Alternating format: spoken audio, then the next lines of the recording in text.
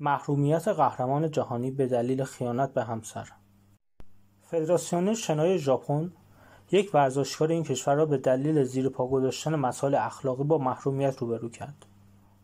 فدراسیون شنای ژاپن پس از انتشار یک مطلب از سوی یک مجله زرد در این کشور مبنی بر اینکه دایا ستو یکی از برترین شناگران ژاپنی با یک زن دیگر رابطه دارد این ورزشکار را با محرومیت روبرو کرد. دایا ستو که در المپیک 2016 ریو در ماده 400 متر انفرادی مدال برنز گرفت و قهرمان کنونی جهان در این ماده و 200 متر است. پدر دو فرزند بوده و بعد از منتشر شدن عکسهای خود با یک زن دیگر چند بار عذرخواهی کرده است. او در بیانیه عذرخواهی خود گفت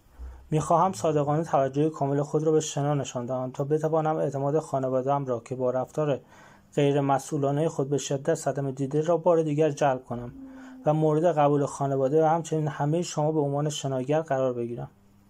ورزشکاران ژاپنی موظف به رفتارهای مثال زدنی هستند و با هر گونه انحراف برخورد می شود.